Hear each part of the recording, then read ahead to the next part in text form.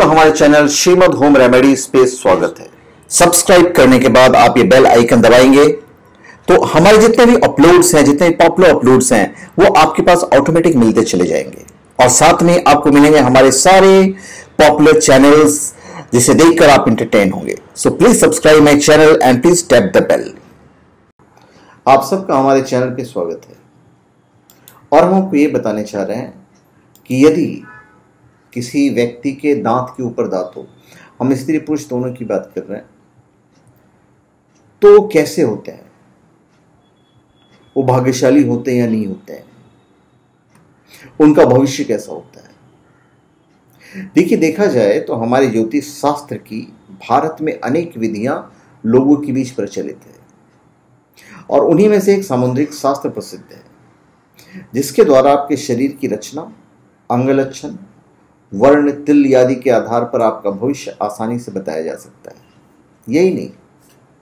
इसके ज़रिए व्यक्ति के रहन सहन और उसके स्वभाव के बारे में भी आप पता कर सकते हैं। हमारे शरीर में मौजूद हर चिन्ह का एक विशेष महत्व होता है और यह हमारे भविष्य के बारे में भी संकेत देता है।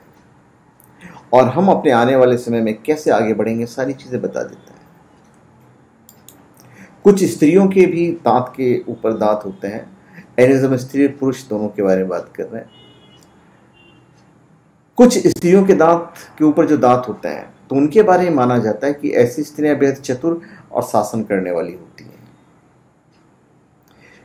इन्हें, इनका पति का प्यार ज़बरदस्त मिलता है।